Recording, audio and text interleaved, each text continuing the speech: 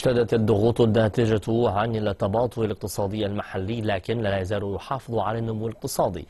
عضو المجلس الوطني للمؤتمر الاستشاري السياسي للشعب الصيني والخبير الاقتصادي لين إيفو متفائل بالنمو الاقتصادي الصيني في السنوات الخمس المقبلة.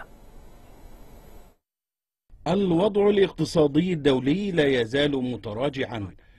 ولكن اعتقد عضو المجلس الوطني للمؤتمر الاستشاري السياسي للشعب الصيني والخبير الاقتصادي المعروف لي ييفو أن سرعة النمو الاقتصادي الصيني تعتمد إلى حد كبير على وضع الطلب الداخلي خلال السنوات الخمس المقبلة.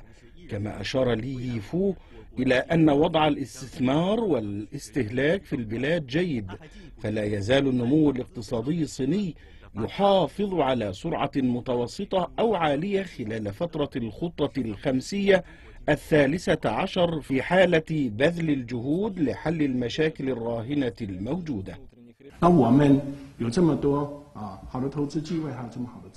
لدينا الكثير من فرص الاستثمار الجيدة وكذلك الموارد الجيدة ولا استخدمنا هذه الظروف الملائمة واستخدمنا هذه الاستثمارات أساسا في تحسين قوة الإنتاج.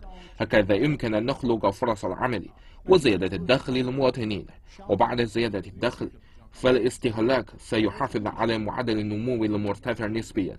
ومن خلال استغلال هذه الظروف المواتية أعتقد أن النمو الاقتصادي بمعدل 6.5% محتمل احتمالا تاما وطبعا هذا يحتاج إلى جهودنا.